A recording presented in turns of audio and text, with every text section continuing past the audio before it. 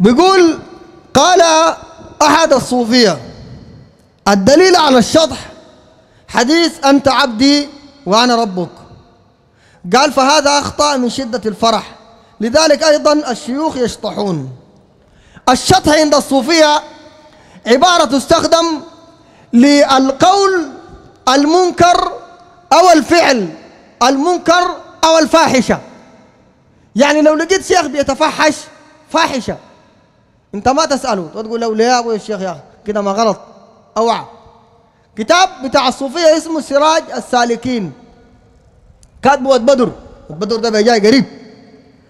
قال وإذا رأيت منهم من تعدى وناح وفعل أفعال القباح ولو أنه يأتي إلى البهائم ويقول إرادته النكاح قال فربما حصل للنخل اللقاح.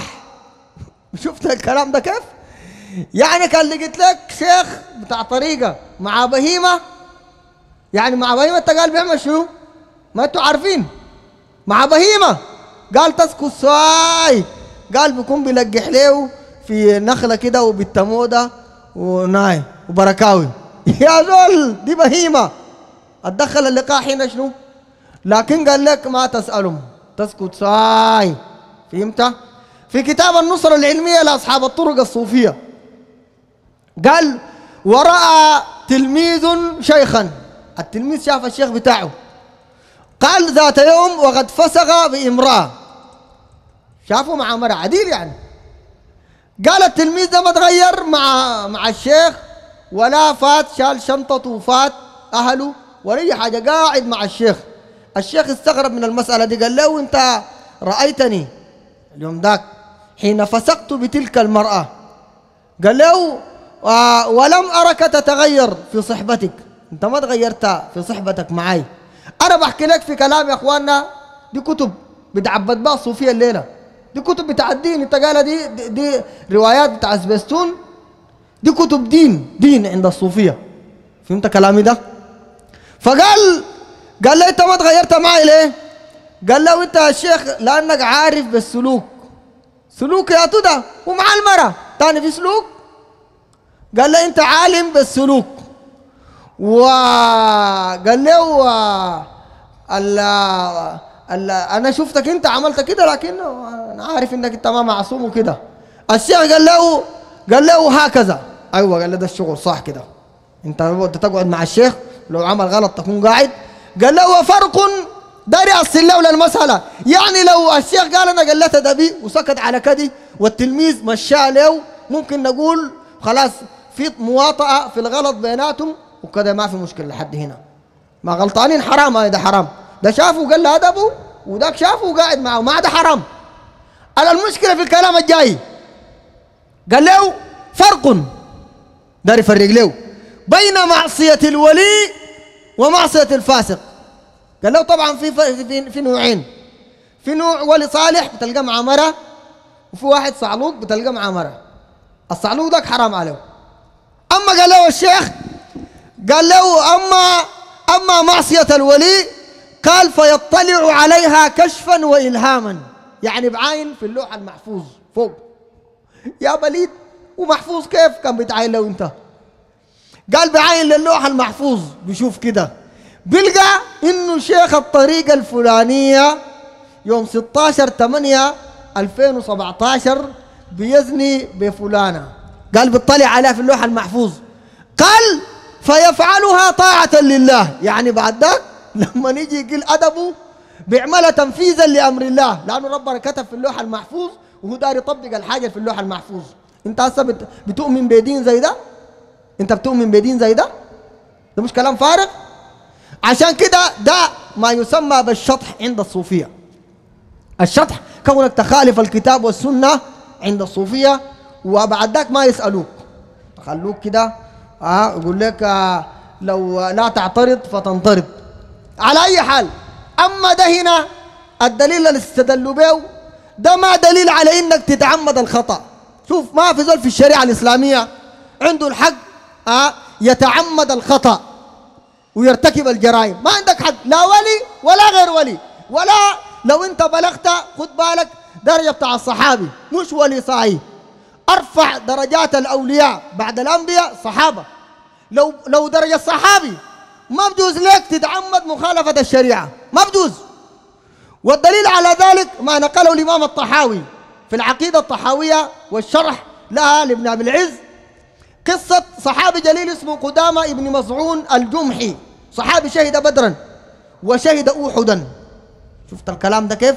ده شهيد بدر. انت أحمد تجاني شهيد بدر؟ أحمد تجاني البرع شهيد وين؟ ده ما شهدوا أي ليش؟ شهدوا محلات الشرك والهوس ده بس. فهمت كلامي؟ ده صحابي ممن شهد بدرا وشهد أوحدا. كويس؟ هذا الصحابي الجليل شرب الخمر في زمن عمر بن الخطاب رضي الله عنه. شرب الخمر خد بالك. عشان ما تجي واحد بعد شوية؟ الصوفية يجي يقول لك لا لا طبعا ده ولي صالح. وما تساله يعمل الدائرة وما تساله تعال شوف الصحابة تعاملوا مع الأمر ده كيف. جابوه وهو متزوج اخت عمر بن الخطاب رضي الله عنه. متزوج أخته. عمر الخطاب الوقت ذاك الحاكم أمير المؤمنين. فأتى به ومعه علي بن أبي طالب.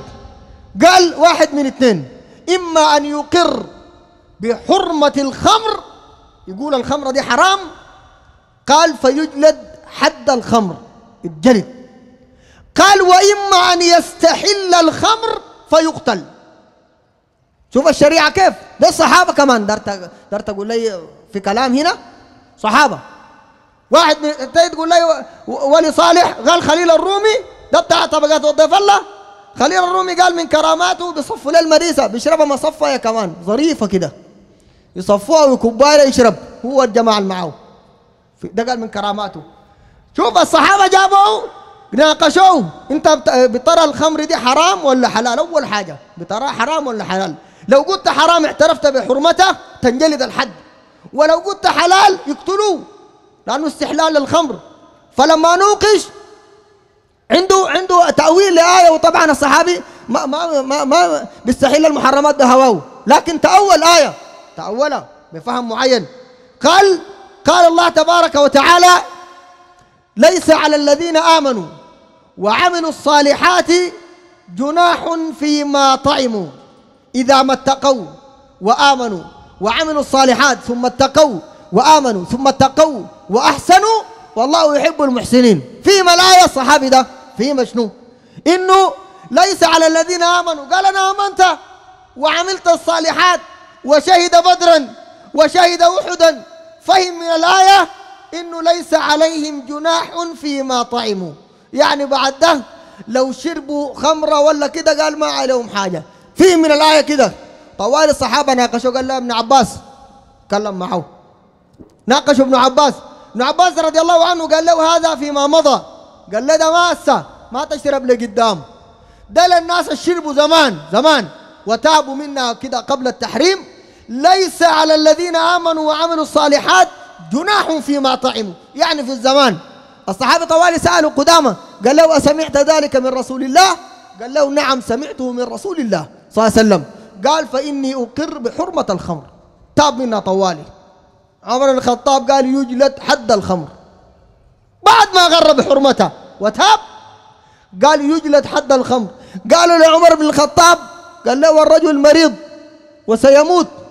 قال لأن يموت تحت الصياد أحب إلى عمر من أن يموت على المعصية. وده مزوج أخته. تجاسد تقول لي ولي صالح خلوه ساي؟ يخلوه كام الله هذيك إذا يشرب مريسة يقول لك ما تسألوه. ذاك يسيب دين ما يسألوه. واحد ساب بدين. هو الكتاب بتاعنا هذا ده. قال لهم أشهد أن لا إله لكم إلا إبليس. ده سب دين ولا ما سب دين السب إلهنا إبليس؟ فهمت فده كله كلام فارغ. ما في حاجة اسمها شطح ما في كلام زي ده. إلا إذا كان إنسان قال له كلمة وهو لا يعي بها. ده ده ده, ده فهم الحديث. إنك أنت تقول لك كلمة أنت ما واعي بها. الرجل اللي قال اللهم أنت عبدي وأنا ربك ما كان واعي بهذه الكلمة. عشان كده النبي صلى الله عليه وسلم ما قال كفر مرق من الشريعة قال أخطأ. أخطأ لأنه قال لك كلمة وما دار يقولها هو دار يقول اللهم أنت ربي وأنا عبدك. قام قلبه قلبه. قال اللهم أنت عبدي وأنا ربك. عشان كده النبي صلى الله عليه وسلم قال أخطأ من شدة الفرح. وبالتالي العلماء كابن تيمية رحمه الله تعالى في الفتاوى فرق بين من قال كلمة وهو لا يقصدها. لاحظ القصد ده مهم. القصد. الإنسان قد يقول كلمة وهو لا يقصد. في الحالة دي ما يكفر. لأن ربنا سبحانه وتعالى يقول لا يؤاخذكم الله باللغو في أيمانكم ولكن يؤاخذكم بما عقدتم الأيمان. وقال تبارك وتعالى وليس عليكم جناح فيما أخطأتم به ولكن ما تعمدت قلوبكم. يعني زول لو قال لك كلمة فلتت منه كده وما قاصده. ده ما بكون كافر. بخلاف الزول اللي بيقعد بمزاج وبيكتب الكفر. عشان كده ابن تيمية قال في فرق بين بين بعض الجماعة الزمان انتسبوا للتصوف القدام وقالوا كلمات هي في النهاية حسبت عليهم. لكن قالوها وهم فاقدين الوعي. قال فرق بينهم وبين الجماعة زي الحلاج. الحلاج ده كان بيكتب الكتب. زي جماعتك اللسي ديل يكتب كتاب. معقول تقول له يخطأ من شدة الفرح؟ هو كتب كتاب. أخطأ كيف يعني؟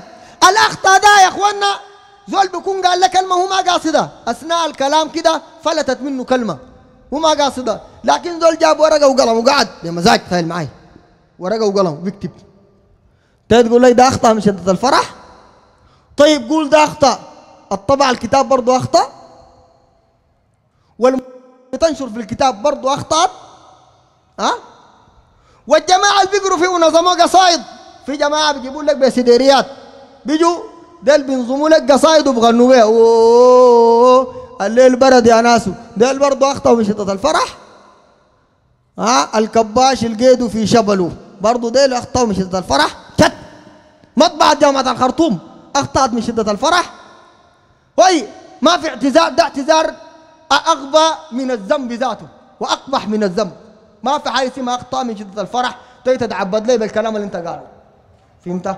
الكلام اللي قاله ما تعبد به وأنت تقول الزول غلطان والكلام والكتب دي كلها يحرقوها.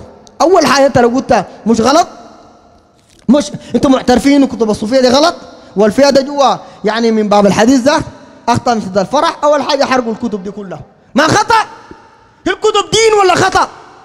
مش انت معترف انه أخطأ؟ مش أحرق الكتب ده أول حاجة. ما تجي تتفاصع معايا يا صوفي تقول لا لا لا وده شطح. شطح جايبه لنا مالك؟ لا الشطح ده دين ولا خلاف الدين؟ ما دار اعرف أنا معلومة واحدة بس. الشطح ده ذاته بتاعك ده. دين ولا ما دين؟ هيجي يقول لك لا ما دين يا أخي. ما ده غلط فيه وكده طيب غلط جايبه لي مالك أنت؟ كاتبه لي في كتاب مالك. مؤلف وبايع في السوق مالك أنت بليد؟ غلط يا أخي حرقه. شيل العفن كله لموا في شوال فهمت؟ ادعوه بعيد هناك حرقوه. وقولوا الكتب دي كلها ما عليك بس شيوخنا دي اخطاوا من شده الفرح لكن ما في ذول يقرا وما في ذول يتعبد بها لكن ده ده دينك اللي انت بتتعبد به ولا الله. فهمت؟ وتقراه وكده. فممكن انت تقول لي ده من باب الشطح ما في شطح زي ده. من دعا إلى هدى كان له من الأجر مثل أجور من تبعه. لا ينقص ذلك من أجورهم شيئا.